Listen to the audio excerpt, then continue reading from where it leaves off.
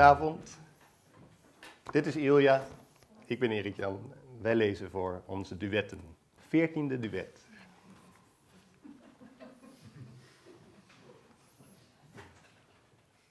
Ik heb zoveel niet gezegd. Het ligt in mijn mond besloten, als viskuit in het net. Ik wil graag eerlijk zijn, mijn vriend.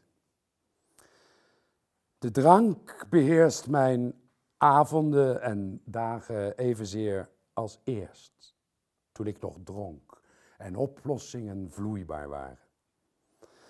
Terwijl ik op een nieuw horloge zit te staren en elke keer verbaasd ben hoeveel tijd er is, stel ik soms vast dat ik de oude Ilja mis, die zich gevoelloos zoop maar die tenminste wist wat hij moest doen en wie hij was.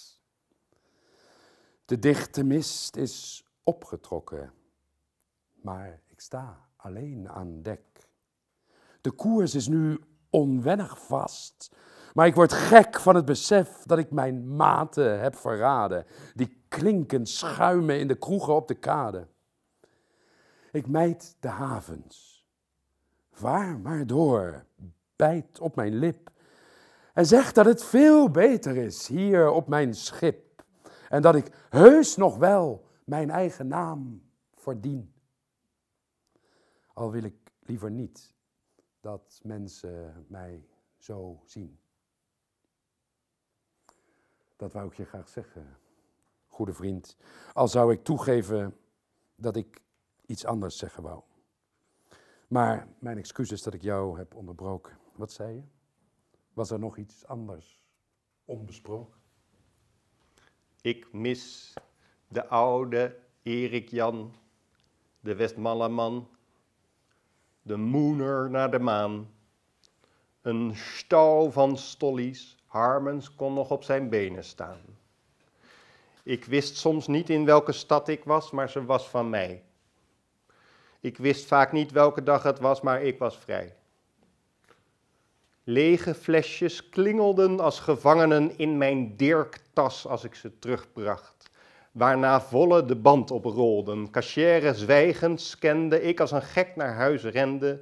En alles al na de eerste plop versofte in mijn zorgenkop.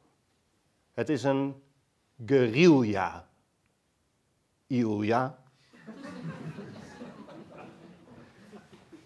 Een asymmetrische strijd tussen heb en kwijt. Er is geen roes meer, er is alleen maar tijd. Die tikt als messen prikken in je nuchterheid. Misschien, goede vriend, is het als wanneer je optreedt en de zaal inkijkt. Verblind wordt door het spotlight, waarna zwarte vlekken dansen op het papier en je opstijgt. Ver weg van dit theater, waar toeschouwers als murenen naar je kijken, happen en zwijgen. Je staat alleen aan dek met je frisse bek. Geen kegel, geen kater, geen couperose Maar ik zie je, ik zie je. Pfeiffer is je naam. En Harmens is naast je aan dek gaan staan.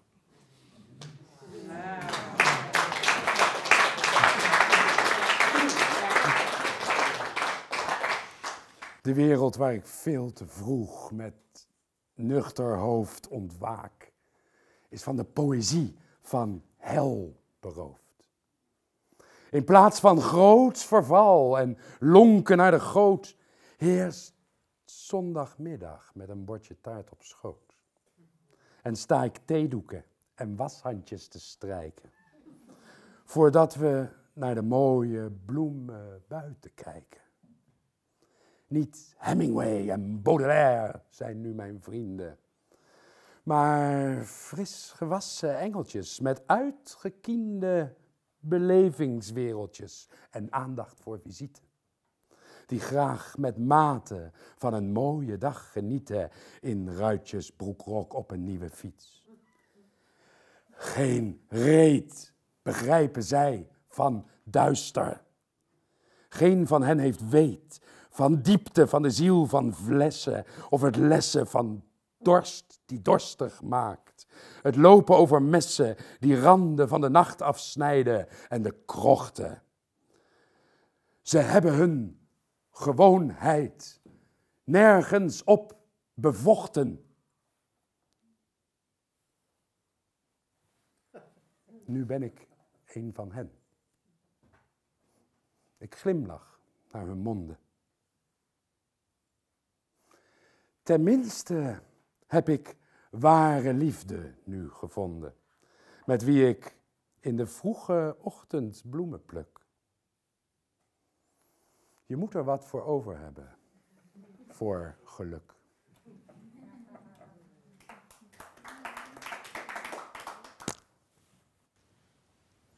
Ik heb zoveel niet gezegd.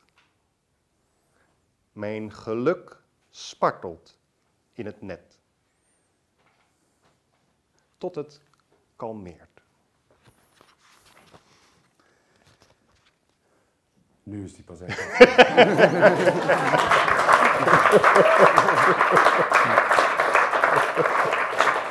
Twee open doekjes en één gedoe.